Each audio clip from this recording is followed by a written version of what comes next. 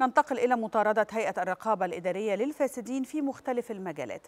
تمكنت الهيئة من إلقاء القبض على كل من رئيس حي مصر القديمة وأحد متعهدي جمع القمامة العاملين في نطاق الحي عقب تقاضي المتهم الأول لمبلغ 400 ألف جنيه على سبيل الرشوة من الثاني الذي جمعها له من متعهدي القمامة المتعاقدين مع الحي مقابل قيام رئيس الحي بالإخلال بواجبات وظيفته. وعدم إلغاء التعاقدات الخاصة بالمتعهدين وتمكينهم من صرف مستحقاتهم المالية المتأخرة لدى الحي. وتوصلت تحريات الهيئة عن اعتياده ذلك الإجراء مستغلا سلطات وظيفته.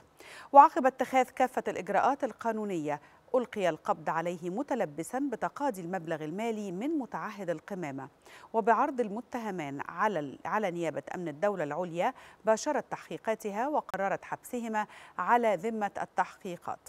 ومن ناحية أخرى وفي إطار جهود هيئة الرقابة الإدارية لضبط جرائم الغش التجاري والاستيلاء على الدعم والحفاظ على صحة المواطنين بالتنسيق مع الوحدات التنفيذية بالمحافظات وردت معلومات تفيد بقيام مسؤولي محطة وقود مصر البترول بمركز أبنوب بإمساك وتجميع كميات من السولار والبنزين فئة 80 بالمخالفة وبيعها.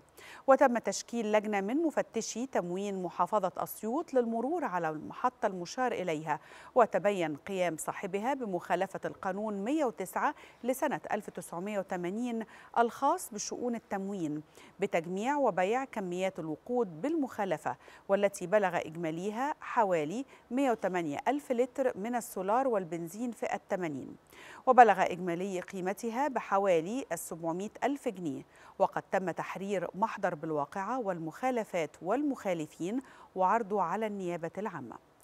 كمان وردت معلومات تفيد قيام إحدى شركات الصناعات الدوائية باستخدام مخزن غير مرخص بمدينة أسيوط في تخزين أدوية غير مصرح بحيازتها وتوزيعها على الصيدليات لعدد من محافظات الصعيد بالمخالفة. ووجود كميات كبيرة من العدسات اللاصقة للعيون منتهية الصلاحية. يتم بيعها وتداولها بنطاق محافظة الغربية وبتشكيل لجان فنية من إدارات التفتيش الصيدلي ومفتشي مديرية التموين بمحافظتي أسيوط والغربية وبإشراف ورفقة أعضاء الهيئة تم التفتيش على مخزن الشركة بمحافظة أسيوط وضبط كميات كبيرة من الأدوية ومنها عقار البريجابة المخدر. وأدوية أخرى تابعة لوزارة الصحة والتأمين الصحي. وكميات من المستحضرات الدوائية مجهولة المصدر فضلا عن ضبط 15 ألف زجاجة وعلبة أدوية منتهية الصلاحية بعضها منذ عام 2007 و2008 كما تم تنفيذ عدة حملات بمحافظة الغربية للمرور على أماكن بيع العدسات اللاصقة المشار إليها. أسفرت عن ضبط 180 علبة بإجمالي 800 عدسة مجهولة المصدر ومنتهية الصلاحية تسبب الإصابة بقرحة العين وانعدام الرؤية. وقد تم تحريز كل المضبوطات بالمحافظتين وتحرير محاضر بالوقائع وعرضها على النيابات العامة المختصة لاتخاذ ما يلزم بشأنها.